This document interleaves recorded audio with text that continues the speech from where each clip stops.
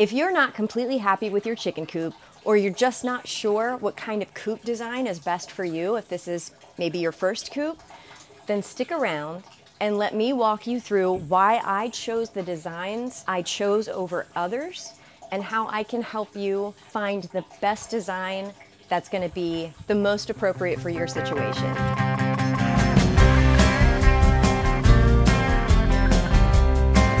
Hey y'all, and welcome to Tatertown. I'm all about making things easier for myself when it comes to, well, pretty much everything when I design things around here. And the chicken coop is definitely one of those things. I have to deal with enough stuff on a regular basis that I try to make things as easy as I possibly can. And I always try to take into account physical limitations, if I'm sick, if somebody else has to come in and take care of things for me if I'm out of town, as well as making less work for myself on a daily basis. This usually means I've got more work to put in on the front end, but believe me, this has its advantages. And I realize not everyone has the time or space or the money to do everything up front. I don't either. It's why I extensively research everything before I create my first designs. But you don't have to do it all at once. And I'm always tweaking and making things better as I go, but so far, this coop and run is the best I've done yet. I will list everything I did in the description of this video. So if you're interested in buying, I'll have those for you. Now let me show you what I did. Now it's kind of messy in here because we're still making shelving and all kinds of other things, so don't judge me yet.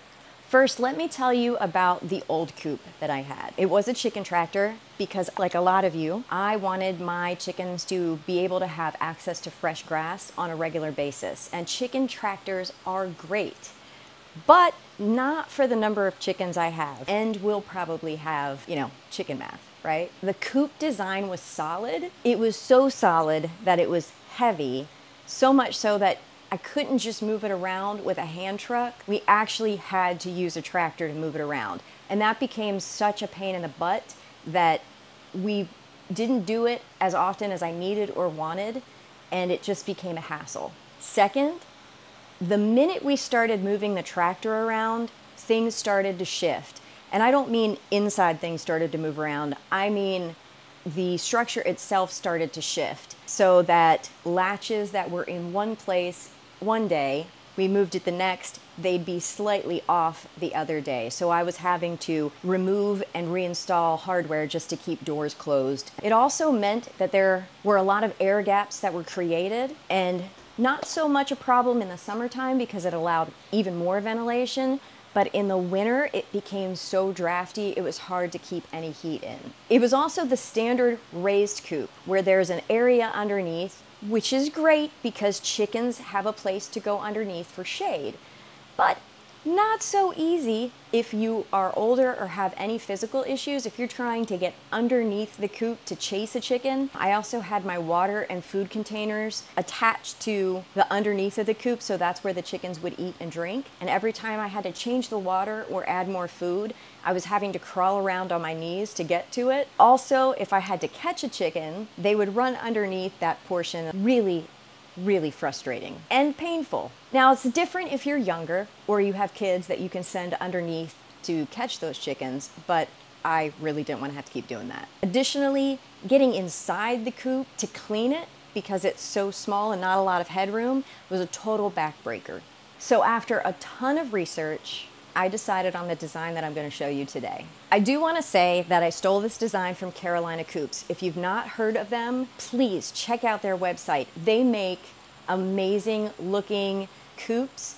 They are very expensive, so I couldn't afford to buy one, but I did use a lot of their ideas in designing this system. I'm not sponsored by them, but if you do have the money to buy one of their coop systems, I would totally recommend it and you should check it out. The first thing I decided was to make the coop stationary. I still really wanted a coop that I could move around, but I didn't want to keep having problems with misalignment and things shifting. So I let go of having a movable structure in exchange for having a larger run. We have a workshop right next to the house, and I decided to go ahead and make a space for the hen house on the inside, much to the chagrin of my husband and father. And I don't have to deal with crappy weather outside if I'm dealing with the chickens. And it also made me stress less about the chickens being in either really hot weather or really cold weather. It's still raised, but what we did was made storage space under the raised part of the coop. We keep all of our food and whatnot underneath here. And we have, my husband made these rolling storage containers for, we've got our grit, bedding, etc. underneath. I have two of them and I can put all kinds of containers underneath. The only thing I needed was a small set of stairs. Now these are just pet stairs for a car, so it can hold me. It does not do well for my husband, so you may need a ladder or you may want to build steps up to it. But the beauty is, when I'm in here, the chickens are at my chest level, so I can easily take care of them from this perspective and I can see them and, and, and do all the things I need to do without having to bend down or climb up into it. I can easily step up into it when I have to clean things and I have enough headroom to stand up, so it's a lot easier on my back and neck when I'm working in here. Right, Smina? I can access their nesting boxes from inside, so if it's raining, I'm not getting the eggs soaked and I'm not getting soaked while I'm collecting eggs. Now the doors that I designed are again something I learned from Carolina Coop. Mostly I keep it open like this but I can close them off if I need to. If we're doing anything in here that I don't want like sawdust or anything getting into the coop, I can keep these closed, but I usually keep them open. I can also drop this piece down, so when I'm ready to change out the bedding, all I have to do is drop the door down and scrape all of it outside. The other thing that I absolutely love about Carolina Coops is they use for their base and sides, they use HDPE or high density polyethylene plastic, and that is a food grade plastic. Unfortunately, those boards are really expensive. So instead of going with HDPE plastic, I decided to go with a liquid pond liner. I painted all of the walls and the floor. Now, it's a lot less expensive. It's thick. You need a lot of it and it dries so fast that you have to plan out each step carefully but it has made washing it down super easy. The other thing I decided to do was put a drain and a pipe in the bottom of the floor so that when I do a bed change, I can easily put a bucket underneath here and scrub and hose down the walls and then drain the water into that bucket. And it makes it so easy and convenient to wash down the inside of the coop, especially if there's sickness going around or if there's mites, or as you can see, hi Norma, there's a lot of poop on the walls because they're chickens. The only thing I didn't do that I wanted was slope the floor so that it would all flow to the drain, but it really isn't a deal breaker. You can also see that on the inside, I installed a vent so that it is drawing air up and out of here. Now let's go outside and see what we've got going on out here. If you find this video helpful and you like my channel, please consider liking this video, subscribing, and hitting that notification bell. It really does help me to keep going and presenting videos to you that will help you do those things you never thought you could. The next thing that I absolutely love is this automatic chicken door. I actually bought this for use with or the first coop we had and it, it really is super convenient. It runs on batteries so you don't need electric. I do change them out twice a year, it's pre-programmed, hi, to open 20 minutes after sunrise and it closes automatically 20 minutes after sunset. You can program it for different times, but this works out perfectly for me. If I'm out at night, I don't have to worry about getting home in time to close up their door. You're a good model, aren't you? The run is attached to the side of the shed, so they have easy access the ground is so uneven. It's also very rocky out here. We had to build it up a little bit. So we had a choice. We could either build it up with concrete walls or we have a ton of this retaining wall block. My husband had the great idea to use this. So this is all built up around here. We also had a lot of these wall panels. These are all separate panels. We had these built, most of them for the run in the last coop. And we just had to build a few more to go the whole way around and I ended up using quarter inch hardware cloth, which is way overkill. You don't need to use quarter inch, but it is what I had on hand. You could easily go with half inch. Really nothing gets through this, even bugs. And sometimes I wish the bugs would go through so that the chickens would have more to eat while they're inside. We built a roof over the door area so the chickens have shade and an area to get out of the rain or snow. And that's where I feed them, so it also keeps me out of the weather. There's three access points. There's the door from the shed. We have a door over there that I can get to without having to go through the shed to get into the chicken run. And then we have a bigger opening in the back.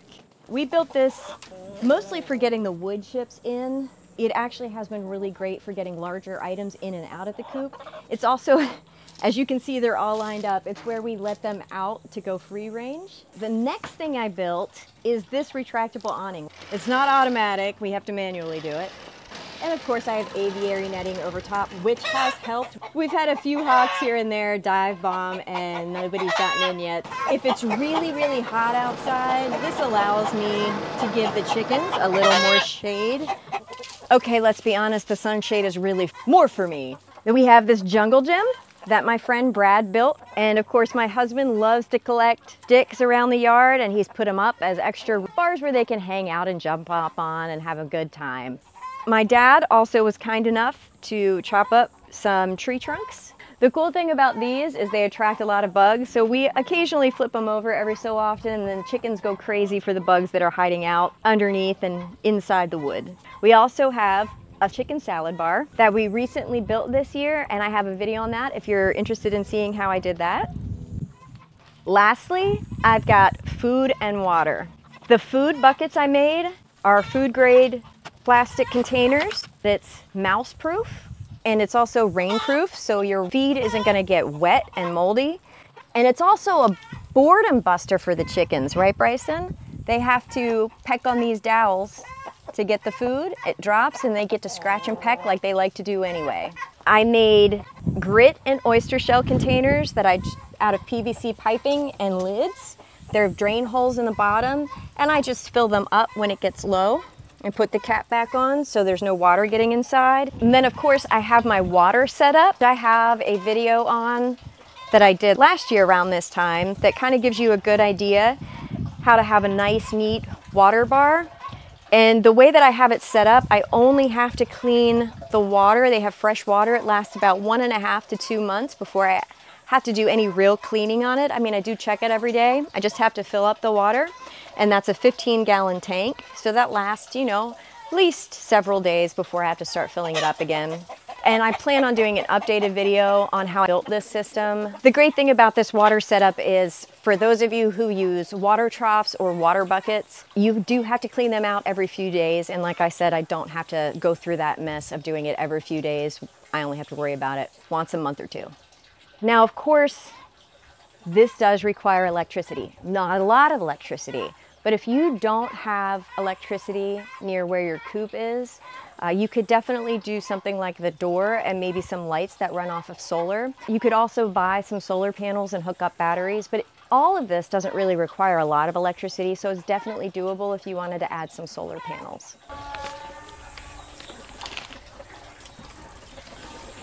The donkeys want out because they haven't been let out today because, well, we just cut hay and we're ready to bale, so they're not happy. There's really only a few things that I purchased specifically for making this coop. Everything else was made out of scrap wood that we had around here or already existing items either from the previous coop or just stuff that we had hanging around because I've got my hands in a whole bunch of different things so I've always got a lot of extras around.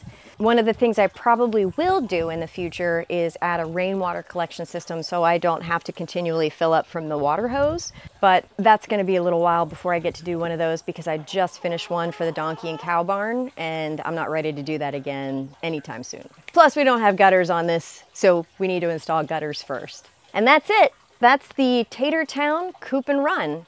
If you have any questions about the reason why I did what I did, or how to do anything in particular, or if you have any ideas that you might see as an improvement on what I did, please let me know because I'm always looking for better ways to do things. And, you know, sometimes I don't hit every point. So if you've got something, let me know in the comments. I'd love to hear from you. And thank you for taking the time to visit us here on Tatertown. And don't forget to hit that like button and subscribe so you can see more videos that will help you do those things you never thought you could.